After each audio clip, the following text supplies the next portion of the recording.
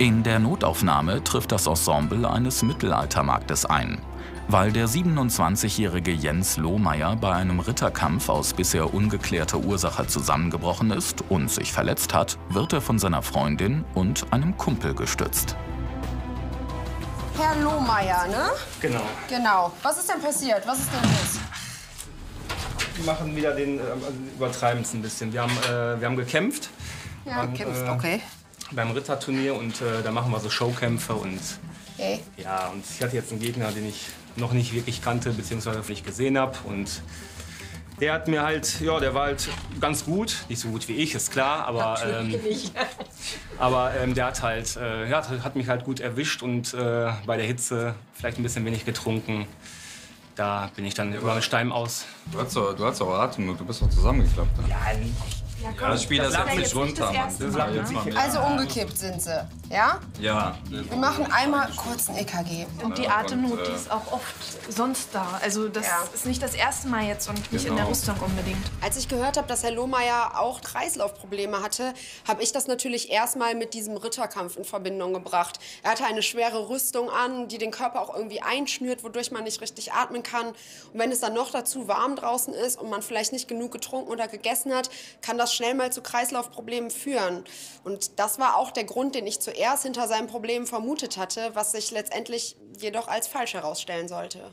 Aber Sie kämpfen jetzt nicht mit, äh, mit Waffen oder Nein, sowas. das ist nicht nein, nein. gefährlich Doch, in dem Sinne. ist alles einstudiert im Prinzip. Also Brauchen Sie aber schon. Also so ein bisschen Rollenspiel. Äh, Genau. Okay, alles klar. Ein Rollenspiel, das den 27-Jährigen in die Klinik gebracht hat. Doch statt sich Sorgen um seine Gesundheit und den Grund für seinen Kollaps zu machen, zerbricht Jens sich noch immer den Kopf über das verlorene Duell gegen den unbekannten Kontrahenten. Man war gerade so gut dabei und jetzt, jetzt passiert halt so ein Mist, was keiner braucht. Also das ist halt Ja. echt nervig. So, Achtung. Also, Herr Lohmeier, das ist auf jeden Fall von außen nur eine Schürfwunde. Ja, 5, äh, 95 und Sättigung ist, ist okay. Seta ist halb so wild, habe ich doch gesagt. Ich muss heißt- einmal. muss man das abchecken. Genau. Ich muss auch einmal Mich die würde viel mehr Bewegung noch interessieren, wer, mich würde viel mehr interessieren, wer mich da, äh, wer mir da zum Gegner war. Das war irgendwie alles ein bisschen. Wobei dich mal einer besiegt hat. Ja, einer, den ich nicht kenne, einer, der maskiert ist. Also das ist schon. Ja, aber nicht mal hast du halt mal verloren. Ja.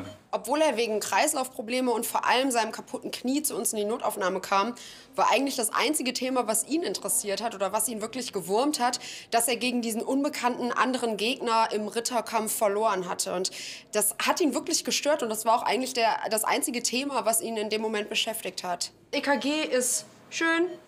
Da ist alles unauffällig. Bei so einer Hitze kann das auch einfach mal ein bisschen Kreislauf gewesen Ja, sein. das, da gehe ich auch stark von aus. Ich schicke sie trotzdem einmal ins Röntgen für das Knie, weil Röntgenblick habe ich nicht. Und ne, wenn da jetzt innen drin, das kann auch ein Mini-Bruch sein, den sie gar nicht so jetzt mitbekommen, ist einfach sicher. Wir schicken sie einmal kurz ins Röntgen und ähm, dann komme ich nachher noch mal und gucke mir die Bilder an. Wenn Ja? das sein muss, dann Das Ich mache Ihnen ist gerne noch das EKG ab. Herr Lohmeier? eine Schürfwunde. Ja, jetzt komm. Während der Hobbyritter auf die Radiologie gebracht wird, trifft in der Notaufnahme dessen zehn Jahre jüngerer Bruder ein. Auch Benny Lohmeier ist Rollenspieler, konnte am heutigen Event aber aufgrund von Magenproblemen nicht teilnehmen. Was machst du hier wegen deinem Bauch? Ich dachte, du bist krank und liegst im Bett. Ja, aber das gehört habe ich doch meinen Bruder. Da bin ich natürlich hier schnell was übergezogen und. Geht's dir jetzt ein bisschen besser? Was, was ist los? Alles was, gut, alles gut. was ist? Weil irgendwas scheinen Sie ja zu haben, ne? Darf ich, mal, gu- darf ich mal einmal gucken? Alles okay. Weil so zuckt man nicht zusammen, wenn man, wenn man nichts hat, ne? Mal schauen. Was passiert? Was haben Sie denn da gemacht? Ich bin eben doof gegen den Türrahmen geknallt. Okay. Ich war am Handy und habe es nicht so gesehen, aber ist halb so wild das Ganze. Der Bruder von Herrn Lohmeier, Benny Lohmeier, betrat die Notaufnahme und, und äh, er wollte sich nach seinem Bruder erkundigen. Und im Verlauf haben wir festgestellt, dass er eine Verletzung am Arm hatte. Und da dachte ich, da sollte doch mal unsere Ärztin einmal drauf schauen. Viola, kannst du einmal kommen? Ich habe hier noch einen Patienten. Das sieht echt schlimm aus. Hallo, schönen guten Tag. Schau mal. Eve ist mein Name. Hallo, Vorsicht. Ne? Ja, ich ja, sehe er schon. sagte schon, nee, ist nichts, Ja, ne? Äh, Sie so- gehören jetzt auch zu dem Ja, das, Patienten? ja, das ist der Bruder von meinem Freund. Ach so, okay. Was haben Sie da gemacht? Darf ich mal sehen? Ich war am Handy gewesen, habe kurz nicht aufgepasst, bin halt dann bei uns im Haus gegen den Türrahmen halt geknallt. Ja. Ziemlich ungünstig. Aber Also ganz ehrlich, aus, das, ne? genau, das sieht nicht so aus wie einfach mal gegen den Türrahmen geknallt. Der sieht halt echt ähm, heftig aus. Da müssen wir sonst nichts dran machen. Einfach ein bisschen ruhig stellen, ne? tut ja weh. War da was, weshalb Sie sich besonders beeilen mussten? Nein, nein, alles, alles Bisschen gut. komisch geworden, sonst irgendwas? Ich habe allgemein jetzt ein bisschen mit dem Magen zu tun, so Ja. mir ein Geschwür eingeholt. Ja. Aber ansonsten Aber nichts. deswegen Nicht. lag er heute auch schon krank im Bett und vielleicht solltest du es auch mal untersuchen lassen. Die ging es dir jetzt so schlecht. Wegen dem Magen? Ja, genau. Okay. Ja, magst du dann vielleicht rausgehen kurz dann, bitte? Äh, okay, warum? Ja, einfach muss jetzt nicht so. Ist ja okay. Das ist auch viel zu eng hier. Also von daher. Alles, alles Ja. Ich habe seinen Magen abgehört und auch abgetastet und da haben sich für mich keinerlei Hinweise auf eine Magenverstimmung oder irgendwas, was in Richtung Blinddarm gehen könnte, ergeben. Er hat dann auch revidiert und alles zurückgenommen und gesagt, die Schmerzen wären gar nicht mehr so stark, weshalb ich ihn dann auch guten Gewissens nach Hause gehen lassen konnte. Soweit können Sie, können Sie sich auch schon wieder hinsetzen. Was machst du hier? Ähm, ja. Bauchschmerzen, gehst jetzt ins Krankenhaus oder was? ja, ist wieder besser geworden. Was, wie sieht's denn bei dir aus? Weil ich habe gehört, Wir du kommen gerade vom Röntgen. Wir gehen rüber, ne? gehen einfach einmal Ja. rüber. Als Herr Lohmeier aus dem Röntgen zurückkam, konnte ich erstmal Entwarnung geben. Das Knie war völlig gesund, da war kein Bruch zu sehen, keine äh, schlimmen Einblutungen oder Bänderrisse. Und äh, mit ein bisschen Schonung kann er das auf jeden Fall schnell wieder auskurieren. Einfach eine Woche oder zwei ein bisschen schonen, jetzt nicht so Eine Woche volle oder Kanne. zwei? Ja, Sie dürfen auftreten, Sie dürfen auch laufen, Sie kriegen keinen Gips, Sie kriegen gar nichts, da ist nichts gebrochen. Aber einfach, dass Sie jetzt nicht volle Kanne Gas geben und äh, super trainieren jeden Tag. Vielleicht auch Ihre Schwertkämpfe da ein bisschen äh, eindämmen. Ja, wir Ne? haben aber am Wochenende zwei, zwei wichtige. Das, das Das geht einfach nicht. hin. Irgendwie. Wir sollen einen Ersatz Ich kann machen. gerne für dich einspringen, ich weiß euch genau. das. Aber Du, du kannst das mit, nicht. deinem, ja, mit deinem Arm, was ist denn jetzt? Also, du kannst ja nicht. Wie mit deinem Arm. Ich denke, du, bist, du hast Magenschmerzen. Gegen Türrahmen noch geknallt heute Morgen, mein, mein Handy am Schreiben und dann. Zeig doch mal. Was ist denn das für ein Hemd? Ja, ich habe das eben schnell drüber gezogen. Das hast du eben schnell rübergezogen. Du ziehst ein Schwertkampfhemd einfach mal eben schnell drüber, oder was? Ja, ich wollte mir schnell was anschauen, so um vorbeizukommen. Was, was, was ist los? Warst du das etwa, oder was? Nein, bist du verrückt?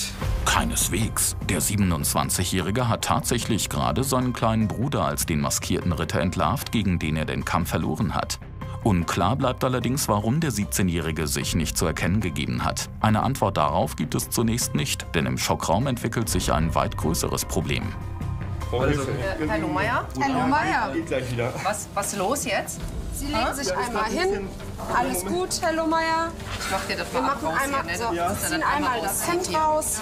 alles okay. Was, Können wir das Kopfteil ein bisschen hochstellen? Herr Lohmeier entwickelte dann auf einmal eine relativ starke Atemnot und beklagte auch Schmerzen auf der linken Brustseite. Da sind bei mir alle Alarmglocken angegangen, weil das die Symptomatik für einen Herzinfarkt sind. Und gerade in Verbindung mit den Beschwerden, die er vorher geäußert hatte, ähm, war es wirklich eine kritische Situation für uns, weshalb wir direkt ein 12-Kanal-EKG geschrieben haben und äh, seine Vitalparameter wie Sauerstoff und Puls und Blutdruck überprüft haben. Das kann von einer Panikattacke bis äh, im schlimmsten Fall zu einem Herzinfarkt kann das alles. Ja, Herzinfarkt? alles, alles gut. Wir warten jetzt erstmal das EKG ab, ne? Scheiße, ey. Na komm, Scheiße, nee, nee, nee. Warten Sie draußen. Ja. Ja? Ich konnte Benny wirklich gut verstehen. Er war so aufgeregt und äh, hat den Raum verlassen, weil er dachte, er war schuld jetzt an dem Anfall, den sein Bruder gerade hatte. Das sieht in meinen Augen ganz gut aus. Okay. Also das sieht nicht danach aus, als wenn Sie eine Herzrhythmusstörung hätten oder einen Herzinfarkt. Das kann man nicht zu 100% im EKG ausschließen, aber meistens sieht man es im EKG. Dann würde ich diese Hebung hier drin sehen, ja? Ich mache trotzdem mal ein Herzecho. Das ist ein Ultraschall vom Herzen. Okay. Ja?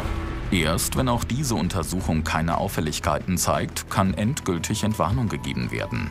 Doch Assistenzärztin Viola Greve hat leider keine besonders guten Nachrichten für den 27-Jährigen und dessen besorgte Freundin. Herr Lohmeier, ich, ich sehe da ein bisschen was an. Ihrer Hauptschlagader, an der Aorta. Das kann man aber hier auf dem Ultraschall nicht zu 100% sagen. Deshalb würde ich sagen, dass wir Sie stationär aufnehmen. Sie müssen hier bleiben und hier schlafen für eine Nacht. Und dann machen Sie ein Cardio-MRT. Also ein MRT vom Herzen. Das tut okay. nicht weh, das ist einfach nur Bildgebung. Ähm, das dauert aber relativ lange und ist relativ aufwendig. Deshalb müssen wir Sie dafür stationär aufnehmen. Welche Auffälligkeit sich auch immer an der Hauptschlagader des jungen Rollenspielers findet, sie ist höchstwahrscheinlich die Ursache für den Zusammenbruch während des Ritterkampfes. Schon früh am nächsten Morgen gibt es endlich Gewissheit für alle Beteiligten. Lohmeier, Sie sind ja auch schon da. Hallo. Hallo, guten Tag. Hallo. Hallo. Wir wollten eh gerade zu Ihrem Bruder. Wollen Sie mitkommen? Oder? Ja, lieber nicht, der ist bestimmt wahnsinnig sauer auf mich. Ich möchte lieber draußen bleiben. Ja? Ja. Ja, sicher, Sie können auch Sonst- ruhig sagen. Danke, nee, nee, ich, ja, Alles klar. lieber nicht. Alles Danke. klar. Dürfen wir reinkommen? Hallo, Herr Wollten gerne die Lohmeier. Ergebnisse noch besprechen. Genau. Die MRT-Bilder sind da. Okay. So, und zwar haben die auch was gezeigt. Jetzt weiß ich wenigstens, was mit ihnen los ist. Ja. Und zwar, ich hatte ja schon gesagt, dass ich glaube, dass was an der Hauptschlagader, an der Aorta ist. Und sie haben ein Aneurysma. Das haben Sie vielleicht schon mal gehört. Das ist im Endeffekt ist das eine, eine Aussackung vom Gefäß. Und da kann sich dann das Blut sammeln. Und wenn das in dieser Aussackung sich sammelt, dann kann das natürlich nicht mehr durch den Körper fließen. Und das Blut fehlt Ihnen irgendwo. Und das kann dazu führen, wenn Sie sich jetzt besonders anstrengen und das Herz stärker pumpt, dann wird diese Aussackung immer weiter ausgedehnt sozusagen. Und dann haben sie zu wenig Blut für Organe, Muskeln, Gehirn, sonst was. Und dadurch kommen diese, diese Synkopen. Also wenn ihnen dann schummrig wird, wenn sie umkippen, wenn der Puls in die Höhe geht, um das zu kompensieren. Sein Glück ist, dass der Radius, der Durchmesser von diesem Aneurysma nicht so groß ist. In dem Stadium muss man nichts machen, er muss nicht operiert werden. Er muss sich jedoch regelmäßig bei seinem Hausarzt vorstellen, der einfach kontrollieren muss, wird das Aneurysma größer, weil man dann gegebenenfalls Medikamente geben muss oder ihn vielleicht sogar operieren müsste. Wenn das schlimmer werden sollte und größer werden sollte, dann kann man überlegen, das zu operieren, da einen Stent reinzusetzen. Aber jetzt momentan, Sie sind ein junger Mann, ähm, Sie sagen selber, das ist nicht oft passiert, das ist nicht schlimm passiert. Da versuchen wir das erstmal so einzustellen. Sie kriegen Me Medikamente für die, für die Blutgerinnung, dass sich da nicht so ein, so ein Blutgerinnsel bildet. Aber ähm, Ansonsten müssen Sie einfach nur regelmäßig zum Hausarzt gehen und das abklären lassen. Dann dürfen Sie auch weiter kämpfen und Ihren Sport machen. Sie werden damit nur kein Extremsportler und kein Berufssportler. Das muss Ihnen klar sein. Und äh, wenn wir bei dem Punkt sind, Ihr Bruder wartet auch gerade draußen und er ist ein bisschen gekränkt. Ich weiß nicht, wollt ihr vielleicht ein paar Worte wechseln? Soll ich den mal vielleicht vielleicht reinbitten? ganz gut, ne? Ach komm. Ja, los. Ja, nach der Diagnose fand ich den Moment sehr passend, um den kleinen Bruder mit ins Zimmer zu holen. Einfach aus dem Grund, dass sie sich mal aussprechen und das taten die dann auch. Neben einer Entschuldigung gibt es auch eine Erklärung für die Heimlichtuerei des 17-Jährigen. Weil sein älterer Bruder ihm nie zugetraut hat, dass auch Benny ein guter Ritter sein kann, hatte der Schüler vor, ihm das Gegenteil zu beweisen. Eigentlich wollte sich der Teenager nach dem Kampf zu erkennen geben, doch da war Jens leider schon im Krankenhaus. Ich muss leider auch eingestehen, du hast, du hast gut gekämpft und ja, ich verstehe dich schon. Du wolltest dich da jetzt beweisen halt hauptsächlich. Vielleicht können Sie sich da ja auch irgendwie einigen, dass, wenn Sie nicht mehr so viel können und so oft, dass Sie ihn vielleicht mal vertreten beim Kampf. Denke ich, könnten wir drüber, ne, könnten wir drüber nachdenken. Aber Würde ich dazu, sehr gerne machen. dazu müsste ich dich allerdings erst, äh, müsste ich dich erst noch zum Ritter schlagen halt. Ja, sehr gerne. Ja, komm, dann knie dich mal hin. In Ermangelung eines Schwertes muss eine Fernbedienung herhalten und aus Benny wird Sir Benny. Dessen großer Bruder Sir Jens durfte die Klinik nach vier Tagen wieder verlassen. Dank enger Kontrollen beim Hausarzt und der passenden Medikamente ist der 27-Jährige seitdem anfallsfrei und erfreut sich bester Gesundheit.